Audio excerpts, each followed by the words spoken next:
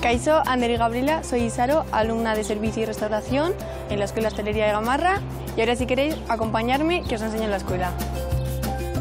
Pues este es el grado de Servicio y Restauración, consta de dos años y consiste en todo lo base para trabajar en cualquier empresa de hostelería. Las asignaturas son muy variadas, desde bar cafetería, servicio en comedor. Considero que es muy importante este grado ya que nosotras al final somos la cara del restaurante, somos quien trata con el cliente y explicamos, asesoramos y acompañamos a la comida durante todo el servicio.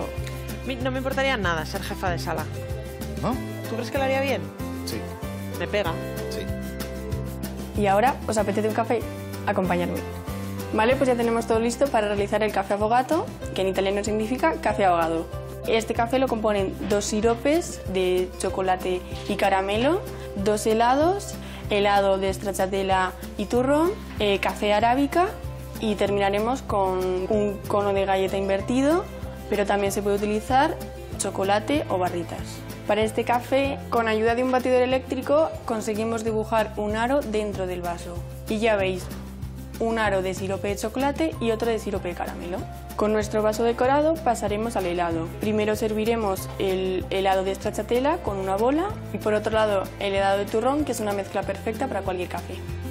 De eso me puedo comer yo camión y Es medio. poco copa la casa, ¿eh?